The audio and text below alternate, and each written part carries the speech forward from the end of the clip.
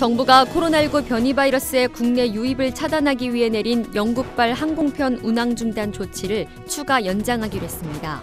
앞서 방역 당국은 영국 등에서 코로나19 변이 바이러스가 유행하면서 지난해 12월 23일부터 영국 런던에서 오는 항공편 운항을 일시 중단한 뒤 이를 계속 연장해 왔습니다. 정부는 25일까지로 예정된 운항 중단 조처를 다음 달 11일까지 2주 더 연장하기로 했습니다. 구티비 뉴스 이정은입니다.